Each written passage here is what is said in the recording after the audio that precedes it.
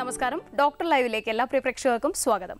ഇന്ന് നമ്മൾ ഡോക്ടർ ലൈവിൽ ചർച്ച ചെയ്യുന്നത് പുകവലി മൂലമുണ്ടാകുന്ന ശ്വാസകോശ രോഗങ്ങളും പുകവലി നിർത്താനുള്ള മാർഗങ്ങളും എന്ന വിഷയമാണ്. ഈ വിഷയത്തെക്കുറിച്ച് നമ്മളോട് കൂടുതൽ സംസാരിക്കുന്നതിനായി കോഴിക്കോട് ആസ്റ്റമംസ് ഹോസ്പിറ്റലിലെ പൾമനോളജിസ്റ്റായ ഡോക്ടർ സിജിത് കെ രാഘവനാണ് ഇന്ന് നമ്മുടെ അതിഥിയായി എത്തിയിരിക്കുന്നത്. നമസ്കാരം ഡോക്ടർ. ഡോക്ടർ ഈ പുക വലിച്ചാൽ അമിതമായ പുക വലിച്ചു കഴിഞ്ഞാൽ നമ്മുടെ ശ്വാസകോശത്തെ തകരാറിലാക്കും എന്നെല്ലാവർക്കും അറിയാവുന്നതാണ്. സാധാരണയായി പുക വലിക്കുമ്പോൾ ഈ നമുക്കുണ്ടാകുന്ന ശ്വാസകോശ രോഗങ്ങൾ എന്തെല്ലാമാണ്? പുകവലിയായി ബന്ധപ്പെട്ട് കാര്യമായി പറയുന്ന രോഗങ്ങളിൽ ആദ്യമായി പറയേണ്ടത് സി ഒ പി ഡി അഥവാ ക്രോണിക് ഒബ്സ്ട്രക്റ്റീവ് പൾമണറി ഡിസീസ് എന്നുള്ളതാണ്. അത് പ്രധാനമായും ഒരു സി ഒ പി ഡിയിൽ ഒരു എൺപത് ശതമാനവും സ്മോക്കേഴ്സിലാണ് കണ്ടുവരുന്നത്. അതല്ലാതെ എയർ പൊല്യൂഷൻ വേറെ കുറേ കാരണങ്ങളും അതിലുണ്ട്. പക്ഷേ സ്മോക്കേഴ്സിൽ കൂടുതലായിട്ട് കാണുന്ന രോഗമാണ് സി ഒ പി ഡി പ്രധാനമായും അതിലെ ശ്വാസനാളികളിൽ നീര് വെച്ച് ശ്വാസനാളികളുടെ അറകൾ നശി നശി നശിച്ചു വരുന്ന ഒരു സി ഒ പി ഡി അഥവാ എംഫസീമ എന്ന ഗ്രൂപ്പിൽ വരുന്ന അസുഖങ്ങളും ക്രോണിക് ബ്രോങ്കൈറ്റിസ് എന്ന രണ്ട് തരത്തിലുള്ള അസുഖങ്ങളാണ് സി ഒ പി ഡിയിൽ പറയുന്നത്. പ്രധാനമായും രോഗികൾ വരുന്നത് ശ്വാസതടസ്സം കൂടി നടക്കാനുള്ള ബുദ്ധിമുട്ടുകൾ ഇടയ്ക്കിടയ്ക്ക് വരുന്ന കപക്കെട്ട് ഇതൊക്കെയാണ് സി ഒ പി ഡി രോഗത്തിന്റെ ലക്ഷണങ്ങൾ. അതല്ലാതെ കാണുന്ന രോഗങ്ങളിൽ ഇൻഡസ്ട്രീഷ്യൽ ലങ് ഡിസീസ് അതായത് ലങ്സിന്റെ കപ്പാസിറ്റി കുറയുന്ന അസുഖങ്ങൾ കുട്ടികളിൽ വരുന്ന ആസ്മ വീട്ടുകൾ വീട്ടിൽ വേറെ മറ്റു പലരും സിഗരറ്റ് വലിക്കുന്നതൊക്കെ കുട്ടികളിലുണ്ടാകുന്ന ആസ്മ മൂർച്ഛിക്കാനുള്ള കാരണങ്ങളായി കാണുന്നുണ്ട്. ഇതല്ലാതെ പ്രധാനമായി പറയേണ്ട കാര്യം ലങ് ക്യാൻസർ സ്മോക്കിങ്ങുമായിട്ട് നേരിട്ട് ബന്ധമുള്ള ഒരു അസുഖമാണ്. ലങ് ക്യാൻസറിൽ ഒരു എൺപത് തൊണ്ണൂറ് ശതമാനത്തോളം കാരണത്തിൽ പ്രധാന പ്രധാനമായി പറയുന്നത് സ്മോക്കിംഗ് തന്നെയാണ്. ഇതാണ് പറയ പ്രധാനമായി പറയേണ്ട കുറച്ച് ശ്വാസകോശ രോഗങ്ങൾ. ഡോക്ടർ പുക വലിക്കുന്നവരെ പോലെ തന്നെ അപകടകരമായ ഒരു കാര്യമാണ്. ഈ പുക വലിക്കുന്ന ഒരാൾ വീട്ടിലുണ്ടെങ്കിൽ ബാക്കിയുള്ള കുടുംബാംഗങ്ങളെ സംബന്ധിച്ചിടത്തോളം. അതിപ്പം പൊതു ഇപ്പം പൊതുവായിട്ടുള്ള സ്ഥലങ്ങളിൽ വലിക്കാൻ പാടില്ല. എങ്കിൽ പോലും ഇവർക്കുണ്ടാകുന്ന റിസ്ക് എങ്ങനെയാണ്? വീട്ടിലുള്ളവർക്ക് വരുന്നത് അത് പ്രധാനമായി ഉണ്ടാകുന്നത് പാസീവ് സ്മോക്കിംഗ് എന്നുള്ളതാണ്. പാസീവ് സ്മോക്കിംഗ് ഇതുപോലെ തന്നെ അപകടകരമാണ്. ഒരു ആക്റ്റീവ് സ്മോക്കിങ്ങിൽ ഉണ്ടാകുന്ന കെമിക്കൽസും ഈ പാസി സ്മോക്കിങ്ങിൽ ഉണ്ടാകുന്നതും അതിന്റെ ബേണിംഗ് ടെമ്പറേച്ചറിന്റെ ഡിഫറൻസ് കാരണം കുറച്ചും കൂടെ സീരിയസ് ആയിട്ടുള്ള പ്രോബ്ലംസ് ആണ് ഉണ്ടാക്കുന്നത്. എൺപത്തഞ്ച് ശതമാനത്തോളം വീട്ടിലൊക്കെ ഉള്ളവർക്ക് വരുന്നത് ഈ പാസി സ്മോക്കിംഗ് കാരണം ഉണ്ട- ഉണ്ടാകുന്ന പ്രോബ്ലംസ് ആണ്. വീട്ടിലുണ്ടാകുന്ന കുട്ടികൾക്കുണ്ടാകുന്നതും വേറെ ഫാമിലി മെമ്പേഴ്സിനുണ്ടാകുന്ന സ്മോക്കിംഗ് റിലേറ്റഡ് അസുഖങ്ങൾക്കുള്ള പ്രധാന കാരണം പാസി സ്മോക്കിംഗ് തന്നെയാണ്. അത് കാരണവും ഈ വലിക്കുന്ന വ്യക്തിയിൽ ഉണ്ടാകുന്ന അതേ തലത്തിലുള്ള അസുഖങ്ങൾ അവർക്കും ഭാവിയിൽ വരാവുന്നതാണ്. സ്ഥിരമായിട്ട് സ്മോക്ക് ചെയ്യുന്ന ഒരാൾ വീട്ടിലുണ്ടെങ്കിൽ കുട്ടികൾക്കുണ്ടാകുന്ന ആസ്മ മൂർച്ഛിക്കാം. മറ്റ് ഫാമിലി മെമ്പേഴ്സിന് അതുപോലുള്ള അസുഖങ്ങൾ വരാനുള്ള സാധ്യതകൾ കൂടുതലാണ്. നമുക്കൊരു കോൾ വെയിറ്റിംഗ് ആണ്. നമസ്കാരം ഡോക്ടർ ലൈവിലേക്ക് സ്വാഗതം. ഹലോ. പറഞ്ഞോ ആരാണ് സംസാരിക്കുന്നത്? എന്റെ പേര് കാബു എന്നാണ്. ആ ചോദിച്ചോളൂ ഡോക്ടർ കേൾക്കുന്നുണ്ട്. സാറേ ഞാൻ നല്ലൊരു ഒരു വലിക്കാരനാണ് ഡെയിലി മൂന്ന് പാക്കറ്റിൽ കുറയാതൊക്കെ പോകും ആ. നിർത്തണമെന്ന് വളരെ ആഗ്രഹമുണ്ട് പക്ഷെ അത് നമ്മളെ കൊണ്ട് കഴിയുന്നില്ല. ആ. പല മാർഗങ്ങളും നോക്കിയിട്ടും നടക്കുന്നില്ല. ഓക്കെ. മനസ്സിന് മനസ്സിന് നിയന്ത്രണം തീരെ ഇല്ല. എന്താ ജോലി എന്താ ചെയ്യുന്നത് ഞാൻ ഡ്രൈവറാണ്. ഒരു ഗ്ലാസ് വെള്ളം കുടിച്ചാലും സിഗരറ്റ് വലിക്കേണ്ട ഒരു അവസ്ഥയാണ്. എത്ര കാലമായിട്ടുണ്ട് പുകവലി? ഇതിപ്പോ ഒരു കുറച്ച് ഇതിനിടയ്ക്ക് വെച്ച് ഞാൻ നിർത്തിയായിരുന്നു. ഇപ്പോൾ രണ്ടായിരത്തി പത്തിന് ശേഷം ഇതുവരെ തുടർച്ചയായിട്ട് വെച്ചുകൊണ്ടിരിക്കുകയാണ് ഓക്കെ. പിന്നെ നിർത്താൻ ശ്രമിച്ചു മൂന്ന് പാക്കറ്റ് മൂന്ന് പാക്കറ്റിൽ കൂടുതൽ പോകുന്നുണ്ട്. Okay okay. അതിൽ കാര്യമായിട്ട് നമുക്ക് നിർത്താനുള്ളൊരു മോട്ടിവേഷൻ ഉണ്ടെങ്കിൽ അതാണ് കാര്യമായിട്ട് ആവശ്യം. പുകവലി നിർത്താൻ നമുക്ക് ആദ്യമായിട്ട് വേണ്ട ഒരു കാര്യം അതാണ്. ഒരു ഫാമിലി സപ്പോർട്ട് സിഗരറ്റ് വലി നിർത്തണം എന്നുള്ളത് ഏറ്റവും വലിയ ആഗ്രഹമാണ്. പക്ഷേ എന്നെ നടക്കാതെ പോണതും ആ ഇൻട്രസ്റ്റ് പ്രശ്നം തന്നെയാണ്. Okay okay. ആ നോമ്പ് പിടിച്ചിട്ട് പോലും നടക്കുന്നില്ല. നോമ്പ് പിടിച്ച് നോക്കി ഇത് നിർത്താൻ വേണ്ടി വൈകുന്ന നോമ്പ് കുറിച്ച് കഴിയുമ്പോഴത്തേക്ക് വീണ്ടും അതിന്റെ ബുദ്ധിമുട്ട് മാതിരി ഉണ്ട്. വൈകുന്നേരം ആകുമ്പം വലിക്കുന്ന ഒരു പ്രവണതയാണല്ലേ ആ ഉണ്ട്. ഭയങ്കരമായിട്ട് ബുദ്ധിമുട്ട് അങ്ങനെ വീണ്ടും നമ്മൾ വലിച്ചു പോയാണ് അത് നിക്കോട്ടിൻ അഡിക്ഷൻ ആണ് അതിന്റെ പ്രധാന കാരണം. നമുക്കത് നിർത്താനുള്ള പ്രോബ്ലംസ് ഉണ്ടാക്കുന്നത്. അപ്പം അതിന്റെ ട്രീറ്റ്മെന്റ് ആയിട്ട് വല്ലതും ഹോസ്പിറ്റലിൽ ഡോക്ടറെ കാണിച്ചിട്ട് എടുത്തിട്ടുണ്ടോ? ഞാൻ ഇടയ്ക്കൊന്ന് പോയായിരുന്നു. നമ്മളെ കൊല്ലത്ത് അസീസിയ ഞാൻ പോയായിരുന്നു. അസീസിയ മെഡിക്കൽ കോളേജിൽ ഞാൻ ഡോക്ടറെ കണ്ടായിരുന്നു. സഹിക്കാരനെ കാണിക്കാൻ പറഞ്ഞായിരുന്നു. അങ്ങനെ ഞാൻ അദ്ദേഹത്തിന് അപ്പോയിന്റ്മെന്റ് എടുത്ത് പോയി കണ്ട് അപ്പോയിന്റ്മെന്റ് എന്നിട്ട് അഡ്മിറ്റ് ആവാൻ പറഞ്ഞു. പക്ഷെ ആ ഒരു സമയത്ത് എനിക്ക് അഡ്മിറ്റ് ആവാൻ പറ്റത്തില്ലായിരുന്നു. ഓക്കെ. ആ പിന്നെ കാണാനും പറ്റിയില്ല. ഓക്കെ. ഇപ്പം ഗവൺമെന്റ് മെഡിക്കൽ കോളേജസിലും ചില പ്രൈവറ്റ് ഹോസ്പിറ്റൽസിലും അതിന്റെ സ്റ്റോപ്പ് സ്മോക്കിംഗ് ക്ലിനിക്സ് അവൈലബിൾ ആണ്. അവിടെ നിങ്ങൾക്ക് അതിന്റെതായ കൗൺസിലിംഗ് രൂപത്തിൽ തുടങ്ങി അതിനുശേഷം നമുക്ക് ട്രീറ്റ്മെന്റ്സ് അവൈലബിൾ ആണ്. ട്രീറ്റ്മെന്റ് പല വിധത്തിലുണ്ട്. നമുക്ക് നിക്കോട്ടിൻ തന്നെ നമുക്ക് പെട്ടെന്ന് നിർത്താൻ പലർക്കും ബുദ്ധിമുട്ട് വരാറുണ്ട്. അതിന്റെ വിഡ്രോവൽ സിംറ്റംസ് ആണ് നമുക്ക് പിന്നെയും പിന്നെയും വലിക്കാനുള്ള കാരണത്തിലേക്ക് പോകുന്നത്. അതിനെ നമുക്കത് റീപ്ലേസ്മെന്റ് തെറാപ്പി ആയിട്ട് ട്രീറ്റ്മെന്റ് ഉണ്ട്. അല്ലാതെ ഗുളികകളായിട്ടും നമുക്ക് ഇപ്പം അവൈലബിൾ ആണ്. അതൊരു മൂന്ന് മാസം ഒരു ആറ് മാസം വരെയൊക്കെയുള്ള തുടർച്ചയായ ചികിത്സ വേണ്ടി വരും പലർക്കും കുറേ കാലമായി വലിക്കുന്നവർക്ക്. അതിലൂടെ നിർത്താൻ പറ്റുന്നതാണ് അത് ശ്രമിക്കാവുന്നതാണ്. വിളിച്ചതിൽ നന്ദി. ഡോക്ടർ ഈ കോളർ പറഞ്ഞതുപോലെ ഈ പുക വലിക്കുന്നവരിൽ ഇത് നിർത്തുക എന്ന് പറഞ്ഞു കഴിഞ്ഞാൽ കഠിനമായിട്ടുള്ളൊരു മാനസിക സമ്മർദ്ദം ഉണ്ടാവാറുണ്ട്. എന്തുകൊണ്ടാണ് അത് നിർത്താൻ സാധിക്കാത്തത്? പ്രധാനമായും അതിന്റെ ഒരു കാരണം നിക്കോട്ടിൻ അഡിക്ഷൻ എന്നുള്ളതാണ്. അപ്പോൾ നമ്മൾ സിഗരറ്റ് വലിക്കുവാണെങ്കിൽ അതിൽ ഒരു നമ്മൾ സിഗരറ്റ് വലിച്ച് വിത്തിൻ സെവൻ സെക്കൻഡ്സ് തന്നെ നമ്മളെ ബ്രെയിൻ സർക്കുലേഷനിൽ അതെത്തുന്നു അത് ബ്രെയിനിലുള്ള കുറച്ച് നിക്കോട്ടിൻ റിസപ്റ്റേഴ്സിൽ വർക്ക് ചെയ്യുന്നത് തന്നെയാണ് അതാണ് നമ്മളെ ഈ അഡിക്ഷനിലേക്ക് പോകുന്നത്. അപ്പോൾ നമുക്കൊരു ബ്ലഡ് ലെവൽസിൽ നിക്കോട്ടിൻ ലെവൽസ് ഒരു പരിധിയിൽ കുറയുമ്പോഴാണ് നെക്സ്റ്റ് ക്രേവിങ് വരുന്നത് നെക്സ്റ്റ് സിഗരറ്റിലേക്ക് പോകുന്നത്. അത് ചിലവർക്ക് ഒരു സിഗരറ്റ് ആവാം രണ്ടാവാം അത് സ്ലോലി സ്ലോലി അത് കൂടി വരാം. ഒരു ലെവൽസിൽ ബ്ലഡിൽ നിക്കോട്ടിൻ ലെവൽസ് കുറയുമ്പോൾ നമുക്ക് നെക്സ്റ്റ് ആ ഒരു അഡിക്ഷൻ കാരണമാണ് അതുണ്ടാകുന്നത് അപ്പോൾ രാവിലെ എണീറ്റ് വിത്തിൻ തേർട്ടി മിനിറ്റ്സ് ഒക്കെ സിഗരറ്റ് വലിക്കുന്ന ഒരാളാണെങ്കിൽ ദാറ്റ് ഈസ് അഡിക്ഷൻ അത്രയും സിവിയർ ആണെന്നാണ് കാണിക്കുന്നത്. ആ അഡിക്ഷൻ ആണ് നമുക്ക് ഇതിൽ നിന്ന് വിഡ്രോ ചെയ്യാനും ബുദ്ധിമുട്ട് വരുന്നത്. നിർത്തുന്ന സമയത്തും ഇത് തന്നെയാണ് പ്രോബ്ലം ഉണ്ടാക്കുന്നത്. അപ്പോൾ നമുക്ക് നിർത്തി കഴിഞ്ഞ് ഒരു forty eight to seventy two hours ഒരു മൂന്നാമത്തെ ദിവസം പൊതുവേ പറയുന്നത് സെക്കൻഡ് ഒരു third day third day effect അവിടെയാണ് നമുക്കിതിന്റെ മാക്സിമം പ്രോബ്ലംസ് പലരും കാണുക. ആ ഒരു സെക്കൻഡ് ഓർ തേർഡ് ഡേ കഴിഞ്ഞ് കിട്ടിയാൽ പലരും കുറേയൊക്കെ അതുമായിട്ട് അഡാപ്റ്റഡ് ആവാൻ തുടങ്ങും. പിന്നെ ഒരു ഫസ്റ്റ് ടു വീക്സ് അതുമായിട്ടൊന്ന് അഡാപ്റ്റ് ചെയ്ത് കഴിഞ്ഞാൽ പൊതുവേ നിർത്താനുള്ള സാഹചര്യങ്ങളിലും കുഴപ്പമില്ലാതെ പോവുകയാണെങ്കിൽ നിർത്താൻ പറ്റേണ്ടതാണ്. പിന്നെ ചിലർക്ക് അതിന്റെ കൂടെ നിക്കോട്ടിൻ റീപ്ലേസ്മെന്റ് തെറാപ്പി അതാണ് നമ്മൾ ട്രീറ്റ്മെന്റ് ആയിട്ട് പോലും നിക്കോട്ടിൻ റീപ്ലേസ്മെന്റ് തെറാപ്പിയാണ് കൊടുക്കുന്നത്. പലർക്കും പെട്ടെന്ന് ഈ നിക്കോട്ടിൻ ബ്ലഡ് ലെവൽസ് കുറയുമ്പോൾ നമ്മൾ റീപ്ലേസ്മെന്റ് ആയിട്ട് നിക്കോട്ടിൻ സ്മോൾ ഡോസസ് നമ്മൾ സിഗരറ്റിൽ ഉണ്ടാവുന്ന അത്ര കാണില്ല. അതിനേക്കാളും ചെറിയ അളവിൽ നിക്കോട്ടിൻ കൊടുത്ത് നമ്മളത് വിഡ്രോവൽ സിംറ്റംസ് ഒന്ന് കുറച്ച് മെല്ലെ നിക്കോട്ടിൻ റീപ്ലേസ്മെന്റ് തെറാപ്പിയും മെല്ലെ കുറച്ച് കുറച്ച് കൊണ്ടുവരികയാണ് ചെയ്യുന്നത്. ഈ പുകവലി മൂലം ഉണ്ടാകുന്ന ഒരു സീരിയസ്നെസ് പലപ്പോഴും പല ചില ആൾക്കാർ പറയുന്നത് കേൾക്കാറുണ്ട്. ഞാൻ ദിവസത്തിൽ ഒന്നോ രണ്ടോ വലിക്കാറുള്ളൂ. അതുകൊണ്ട് എനിക്ക് പ്രശ്നമൊന്നുമില്ല. സ്ഥിരമായിട്ട് ഭയങ്കര ചെയിൻ സ്മോക്കേഴ്സിനെ പ്രശ്നമുള്ളൂ എന്നൊക്കെ. ഇതിൽ എന്തെങ്കിലും വാസ്തവമുണ്ടോ? ചെയിൻ സ്മോക്കേഴ്സ് ഹെവി സ്മോക്കേഴ്സ് എന്ന് പറയും നമ്മൾ അതായത് more than twenty five cigarettes ഒരു ദിവസം വലിക്കുന്നവർ അവർക്ക് പ്രോബ്ലംസ് സാധാരണ കൂടുതലാണ്. നമുക്ക് ഈ ഒരു വിഷയത്തിലോട്ട് തിരിച്ചു വരാം. ഒരു കോൾ വെയിറ്റിംഗ് ആണ്. നമസ്കാരം. ഡോക്ടർ ലൈവിലേക്ക് സ്വാഗതം. ഹലോ. ഹലോ ആരാണ് സംസാരിക്കുന്നത്? കുറച്ചുകൂടെ ശബ്ദത്തിൽ സംസാരിക്കാമോ?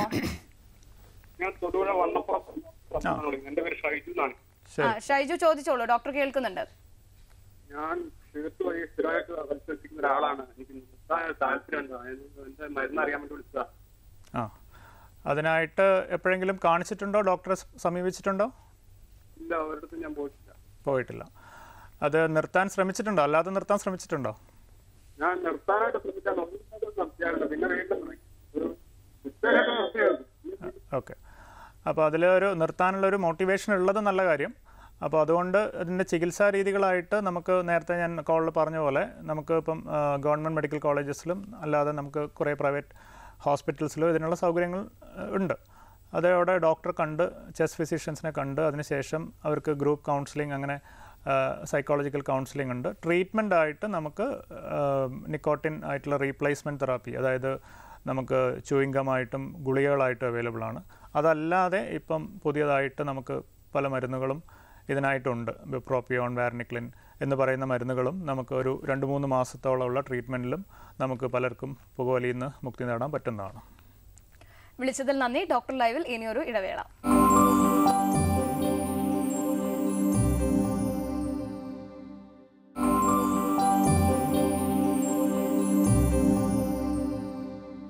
ഡോക്ടർ ലൈവ് തുടരുന്നു.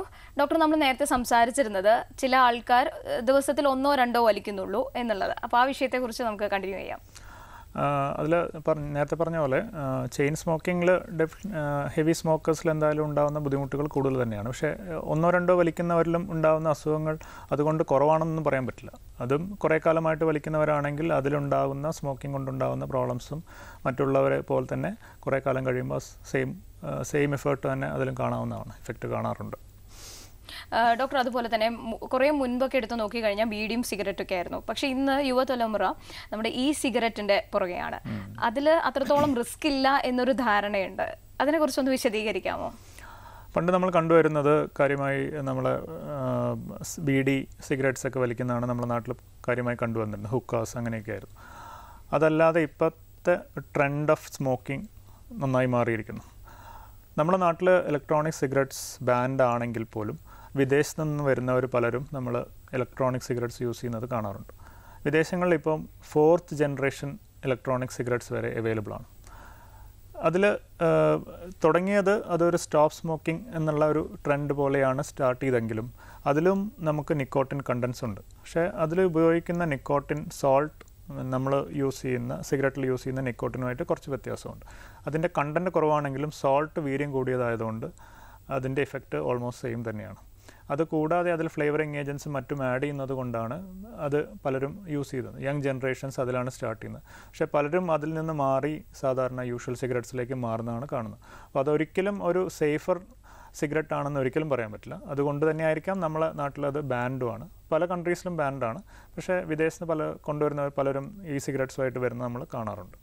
ഡോക്ടർ നമുക്കൊരു കോൾ വെയിറ്റിംഗ് ആണ് ഹലോ? ഹലോ? Hello hello? കേൾക്കുന്നില്ലേ? ആ കേൾക്കുന്നുണ്ട്. ഡോക്ടർ ലൈവിലേക്ക് സ്വാഗതം. ആരാണ് സംസാരിക്കുന്നത്? പറയൂ. പറഞ്ഞോളൂ. ഒറ്റ ഒറ്റപ്പാലം. പറഞ്ഞോളൂ. ഏഹ് എന്റെ ഹസ്ബൻഡിനെ ഈ പുകവലി. പറഞ്ഞോളൂ ഡോക്ടർ കേൾക്കുന്നുണ്ട്. പറഞ്ഞോളൂ ഡോക്ടർ കേൾക്കുന്നുണ്ട്. നിർത്താൻ വല്ല മാറുന്നുണ്ടോ നിർത്താൻ ആ, ആ- ആരായിരുന്നു? ഹസ്ബൻഡാണോ? Okay okay.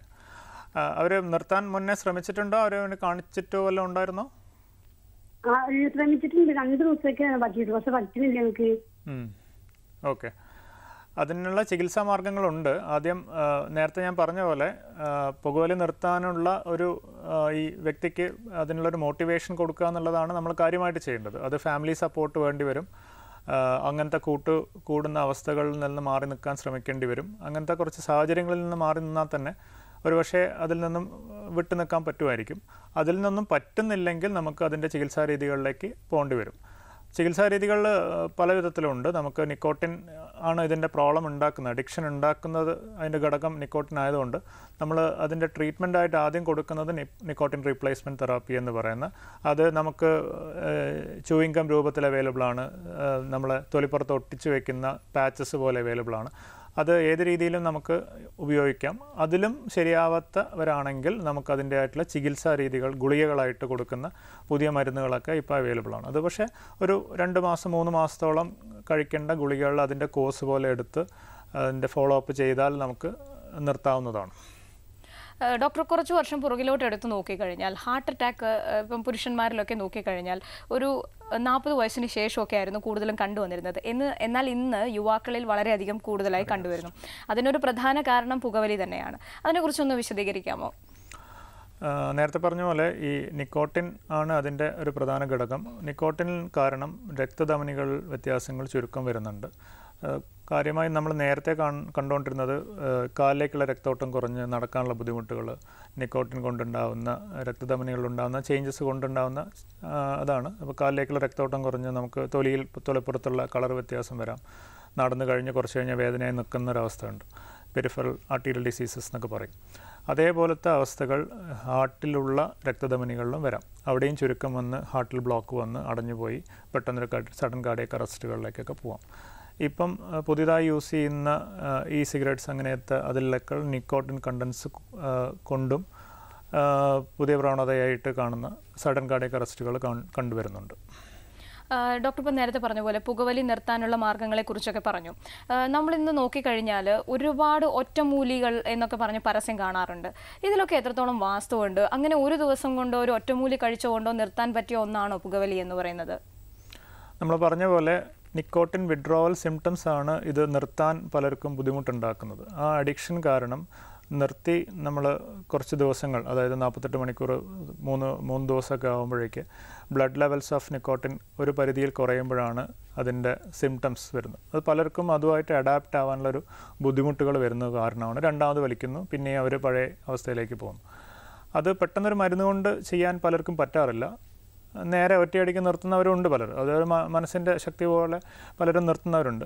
പലർക്കും അത് പറ്റാറില്ല. അതുകൊണ്ടാണ് നമുക്ക് അതിനൊരു സപ്പോർട്ടീവായിട്ടുള്ള കൗൺസിലിംഗ് രീതികളും ട്രീറ്റ്മെന്റും വേണ്ടത്. ഒരു ചെറിയ മരുന്ന് കൊണ്ട് പെട്ടെന്ന് നിർത്താൻ പറ്റാൻ സാധ്യതകൾ കുറവാണ്. പലരും തിരിച്ച് പുകയിലേക്ക് പോകുന്നത് തന്നെയാണ് കാണാറ്. അതുകൊണ്ട് തന്നെയാണ് നമ്മളൊരു സ്ട്രക്ചേർഡ് ആയിട്ടുള്ള ട്രീറ്റ്മെന്റ് ഉള്ളത്. നിക്കോട്ടിൻ റീപ്ലേസ് ചെയ്ത് കൊടുക്കും ചെറിയ ഡോസസിൽ അതുകൊണ്ട് പെട്ടെന്ന് ബ്ലഡ് എന്നുള്ള വിഡ്രോവൽ സിംറ്റംസ് അവർക്ക് വരില്ല.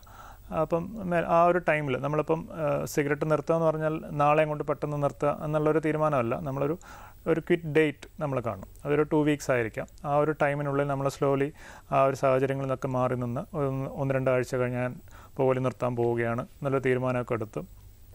അതിനുശേഷം മെല്ലെ സിഗരറ്റ് സ്ലോലി സ്റ്റോപ്പ് ചെയ്യുക എന്നുള്ളൊരു അതായിരിക്കും കുറച്ചുകൂടി നല്ലത്. അത് പലർക്കും പറ്റണമെന്നില്ല. അങ്ങനെ ആവുമ്പോഴാണ് നമ്മൾ ഈ ട്രീറ്റ്മെന്റ് റീപ്ലേസ്മെന്റ് തെറാപ്പീസ് വരുന്നതും പിന്നെ ഈ പറഞ്ഞ ഗുളികകൾ ടാബ്ലറ്റ്സ് രൂപത്തിലേക്കൊക്കെ ആവശ്യം വരുന്നതും. നമുക്കൊരു കോൾ വെയിറ്റിംഗ് ആണ്. ഹലോ ഹലോ ഹലോ ചോദിച്ചോളൂ. ഡോക്ടർ കേൾക്കുന്നുണ്ട്. എന്റെ മോന് വേണ്ടിയാണ് ഡോക്ടറെ ആ. മൂന്ന് വർഷമായി മൂന്ന് വർഷം കഴിഞ്ഞിട്ടുണ്ട് അവന് ഭയങ്കര വീഡിയോ വലിക്കാണ്. വീഡിയും വലിക്കും സിഗരറ്റും വലിക്കും. മദ്യവും കഴിപ്പുണ്ട്. ഒരു ദിവസം ഒരു മൂന്നാലെണ്ണയിലും വലിക്കുന്നുണ്ട്. നാലെണ്ണത്തിൽ കുറയാതെ വലിക്കുന്നുണ്ട് ഒരു ദിവസം. അപ്പൊ അതൊന്ന് നിർത്തണമായിരുന്നു. മോനിപ്പോ എത്ര വയസ്സായി? ഇരുപത്തി രണ്ട് വയസ്സായി. എത്ര കാലമായിട്ട് സിഗരറ്റ് വലിക്കുന്നുണ്ടാവും? എത്ര കാലമായി? നാല് വർഷത്തോളമായി നാല് വർഷം. നാല് വർഷം. അപ്പോൾ ഈ ഒരു ഏജിൽ തന്നെ നിർത്തുക. വളരെ നേരത്തെ തുടങ്ങുന്നവരിലാണ് ഈ ഈ സിഗരറ്റിന്റെ അല്ലെങ്കിൽ പുകവലി സംബന്ധിച്ചുള്ള ദൂഷ്യഫലങ്ങൾ പൊതുവെ കൂടുതലായിട്ട് കാണുന്നത് എത്ര നേരത്തെ തുടങ്ങുന്നുള്ളോ എന്നുള്ളതാണ്. അപ്പോൾ അത് ഇരുപത് വയസ്സിന് മുന്നിലൊക്കെ തുടങ്ങുന്നവർക്ക് അതിന്റെ കൊണ്ടുള്ള പ്രോബ്ലംസ് പൊതുവെ കൂടുതലായിട്ടാണ് കാണാറ്. വളരെ ലേറ്റായി തുടങ്ങുന്നവരെക്കാളും. അപ്പോൾ അതിന്റെ കാര്യങ്ങൾ പറഞ്ഞ് മനസ്സിലാക്കുക. ഫാമിലി സപ്പോർട്ട്സ് എന്തായാലും അതിനാവശ്യമാണ്. അങ്ങനത്തെ കൂട്ടുകെട്ടുകളിൽ നിന്ന് മാറി നിൽക്കാനുള്ള സാഹചര്യങ്ങളൊക്കെ ഉണ്ടാക്കുക എന്നുള്ളതാണ് കാര്യമായിട്ട് നമ്മളെ ഫാമിലി സൈഡിൽ നിന്നുള്ള വേണ്ടത്. അത് നിർത്താനുള്ളൊരു മോട്ടിവേഷൻ ഉള്ള ഒരു വ്യക്തിയാണെങ്കിൽ അതിനുള്ള ചികിത്സാരീതികൾ ചികിത്സാ രീതികൾ നമുക്ക് ഇപ്പം ഹോസ്പിറ്റലുകൾ അവൈലബിൾ ആണ്. അതിന്റെ ട്രീറ്റ്മെന്റ് നമ്മളിപ്പോൾ നേരത്തെ ഡിസ്കസ് ചെയ്ത പോലെ ചെയ്യാവുന്നതാണ്. ഡോക്ടറെ കണ്ട് അതിനുള്ള ചികിത്സാ മാർഗങ്ങളിലേക്ക് പോകുന്നതായിരിക്കും നല്ലത്. വിളിച്ചതിൽ നന്ദി. ഡോക്ടർ അതുപോലെ തന്നെ ഇപ്പോൾ പുകവലി മൂലം ക്യാൻസറായി മാറുന്നുണ്ട്. അപ്പോൾ അതിലും ചില ആൾക്കാർ പറയുന്നത് ഈ ഒരുപാട് കാലത്തോളം പുകവലിച്ച് അങ്ങനെ ചെയിൻ സ്മോക്കേഴ്സിനൊക്കെയാണ് ഇങ്ങനെയൊക്കെ ക്യാൻസറായി മാറുള്ളൂ എന്നാണ്. പക്ഷേ പുകവലി വളരെ ഇപ്പോൾ ഈ പറഞ്ഞ ഒരു കോൾ പറഞ്ഞതുപോലെ തന്നെ വളരെ ചെറിയ ഏജിൽ തന്നെ തുടങ്ങി അങ്ങനെയുള്ള ആൾക്കാരിലും ക്യാൻസർ കണ്ടുവരുന്നുണ്ട്. എന്താണ് യഥാർത്ഥത്തിൽ സംഭവിക്കുന്നത്? പുകവലി ലങ് ക്യാൻസേഴ്സ് ശ്വാസകോശ അർബുദങ്ങളിൽ പ്രധാനമായൊരു കാരണം പുകവലി തന്നെയായിട്ടാണ് നമ്മൾ പറയുന്നത്. അതിൽ ഒരു എൺപത് ശതമാനത്തോളം പേരിൽ സ്മോക്കിങ്ങുമായിട്ട് ഡയറക്റ്റ് റിലേഷൻസ് നമ്മൾ കാണാറുണ്ട്. പക്ഷേ ഈ പറഞ്ഞ പോലെ വളരെ കുറച്ച് വലിക്കുന്നവരിലും സ്മോക്കിംഗ് ഉള്ള ആൾക്കാരിൽ പോലും ഈ ലങ് ക്യാൻസേഴ്സ് കാണാറുണ്ട് നമ്മൾ. അപ്പോൾ ചെയിൻ സ്മോക്കേഴ്സിൽ മാത്രമല്ല. അപ്പോൾ അതിലൊരു പ്രധാന ഘടകം ഈ സ്മോക്കിംഗ് മാത്രമല്ല. അതിലിപ്പം ഒരു ഫാമിലി ഹിസ്റ്ററി ഉള്ള ഒരാൾ അതായത് ഇപ്പം വീട്ടിൽ കുടുംബത്തിൽ ക്യാൻസറിന്റെ ഒരു ഹിസ്റ്ററിയുള്ള പലർക്കും വീട്ടിൽ ക്യാൻസർ വന്നിട്ടുണ്ടെങ്കിൽ നമ്മൾ ചോദിക്കുന്ന പ്രധാന ഒരു ചോദ്യം വീട്ടിൽ ആർക്കെങ്കിലും ക്യാൻസർ വന്നിട്ടുണ്ടോ എന്നാണ്.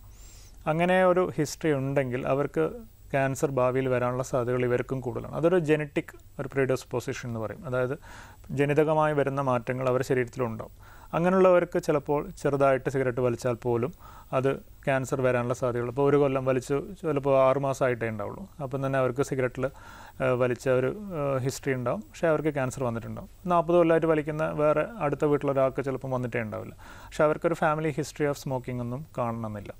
അത് അപ്പോൾ സ്മോക്കിംഗ് മാത്രമല്ല അതിന്റെ ഘടകം. വേറെ പല ആസ്പെക്ട്സും കൂടെ കൂടി വരുന്നതാണ്. പക്ഷേ പൊതുവേ ഹെവി സ്മോക്കേഴ്സിൽ സാധ്യതകൾ കൂടുതലാണ്. അത് വിചാരിച്ച് ഒന്നോ രണ്ടോ വലിക്കുന്നവർ വരില്ല എന്നല്ല. ഇങ്ങനത്തെ പല ഘടകങ്ങളും അതിൽ വരുന്നതുകൊണ്ട് സ്മോക്കിംഗ് കൊണ്ട് വരാനുള്ള സാധ്യതകൾ ഉണ്ട് എന്ന് മനസ്സിലാക്കുകയാണ് ഒരുപാട് നമുക്ക് ചെറിയൊരു ബ്രേക്ക് എടുക്കാം. ഡോക്ടർ ലൈവിൽ ഇനിയൊരു ഇടവേള.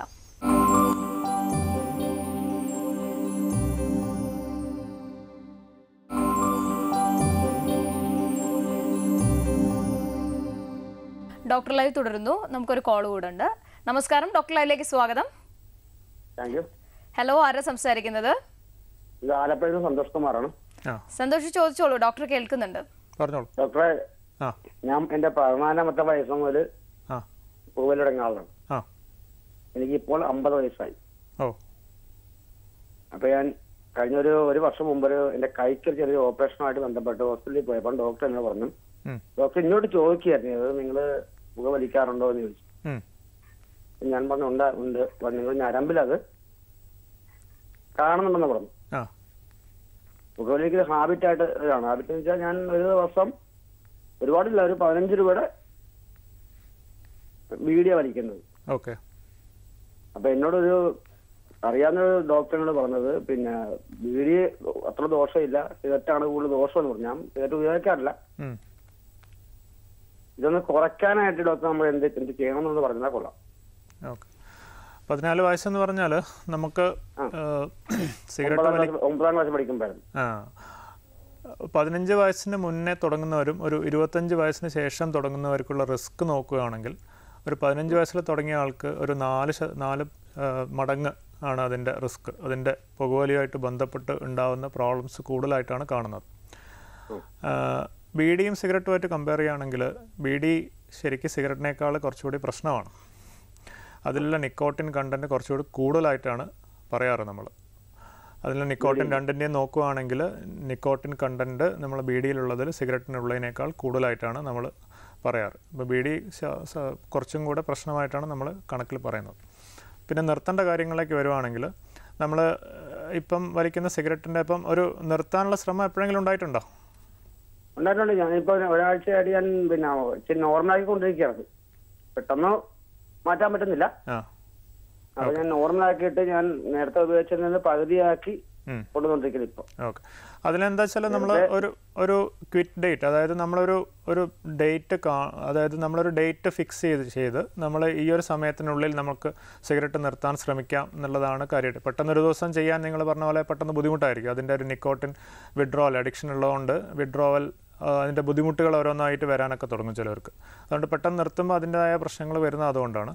അപ്പോൾ നമുക്ക് ഒരു സ്ലോലി ഒരു രണ്ടാഴ്ച കഴിഞ്ഞുള്ള ഒരു സമയം എടുത്ത് ആ ഒരു ഡേറ്റിൽ ഫിക്സ് ചെയ്ത് ആ ഒരു സമയത്തിനുള്ളിൽ നമ്മൾ നിർത്തുമെന്നുള്ളൊരു ഒരു മനസ്സിനൊരു ഒരു ബലം കൊടുക്കുകയാണെങ്കിൽ നമുക്ക് സ്ലോലി അതിലേക്ക് അതിലെ തന്നെ പോവാം. പലർക്കും അതിൽ പറ്റണമെന്നില്ല. അങ്ങനെയാകുമ്പോൾ നമുക്കതിന്റെ ട്രീറ്റ്മെന്റ് നേരത്തെ കോളിലൊക്കെ പറഞ്ഞ പോലെ നമുക്കതിന്റെ ചികിത്സാ രീതികളിലേക്ക് ചിലപ്പം പോകേണ്ടി വരും. അപ്പോൾ നിക്കോട്ടിൻ പെട്ടെന്ന് വിഡ്രോ ചെയ്യുന്ന ആ പ്രോബ്ലംസ് അഡാപ്റ്റ് ചെയ്യാൻ വേണ്ടിയിട്ട് നമുക്ക് നിക്കോട്ടിനിൽ തന്നെ തരുന്ന റീപ്ലേസ്മെന്റ് തെറാപ്പീസ് ആയിട്ടുള്ളത് പലതുണ്ട് നേരത്തെ പറഞ്ഞ പോലെ അതിലൊക്കെ ഉപയോഗിച്ച് നോക്കാം. അതിലും ശരിയാവുന്നില്ലേ നമുക്ക് ചികിത്സാ രീതികൾ മറ്റ് ഗുളികകളായിട്ടുണ്ട്. അതിലേക്ക് നമുക്ക് പോകാവുന്നതാണ്. നിങ്ങളൊരു ഓൾറെഡി ഒരു തീരുമാനം എടുത്ത സ്ഥിതിക്ക് അതിലേക്ക് നേരിട്ട് പോകുന്നതായിരിക്കും. ഓൾറെഡി ഒരു അസുഖം വന്നു അതിനുള്ള ചികിത്സയിലൊക്കെ നടന്നുകൊണ്ടിരിക്കുന്ന സ്ഥിതിക്ക് അത് ശ്രമിക്കുന്നത് തന്നെയായിരിക്കും നല്ലത്. ഇനിയിപ്പോൾ അമ്പത് വയസ്സായി ഇനിയിപ്പോൾ നാൽപ്പത് വയസ്സായി ഇനിയിപ്പോൾ അതിന്റെ ബുദ്ധിമുട്ടുകളൊക്കെ വരാം. വിളിച്ചതിൽ നന്ദി. ഡോക്ടർ അതുപോലെ തന്നെ ഇപ്പം ഡോക്ടർ നേരത്തെ പറഞ്ഞല്ലോ ഒരു റീപ്ലേസ്മെന്റിനെ കുറിച്ചിട്ട് ചൂയിങ്കം കൊടുക്കും എന്നുള്ളത്. ഈ ചൂയിങ്കം പിന്നെ കണ്ടിന്യൂ ചെയ്യുന്ന ആൾക്കാരും ഇല്ലേ? അത് പുക വലിക്കുന്നതിന് പകരം അത് അപകടകരമായിട്ടുള്ള ഒരു പ്രവണത തന്നെയാണോ? നല്ല ചോദ്യമാണ്. അതിൽ നിക്കോട്ടിൻ റീപ്ലേസ്മെന്റ് തെറാപ്പിയായി കൊടുക്കുന്നത് പല രീതിയിലുണ്ട്. അതിൽ പ്രധാനമായി ഉപയോഗിക്കുന്ന ഒന്ന് നിക്കോട്ടിൻ ചൂയിൻ ഗംസ് ആണ്. രണ്ട് ഡോസസിലാണ് നമ്മൾ കൊടുക്കാറ്. Two milligram four milligram two milligram പൊതുവേ നമ്മളൊരു ഇരുപത്തഞ്ച് സിഗരറ്റിൽ താഴെ ഉപയോഗിക്കുന്നവരാണ്. നമ്മൾ അതിൽ സ്റ്റാർട്ട് ചെയ്യും. രണ്ട് മണിക്കൂർ മൂന്ന് മണിക്കൂർ കൂടുമ്പോൾ ഉപയോഗിക്കാൻ പറയും. പിന്നെ അതിന്റെ രണ്ടാഴ്ച കഴിയുമ്പോൾ അതിന്റെ ഡോസ് കുറച്ച് ടേപ്പർ ചെയ്ത് കൊണ്ടുവരാനാണ് ഉദ്ദേശിക്കുന്നത്.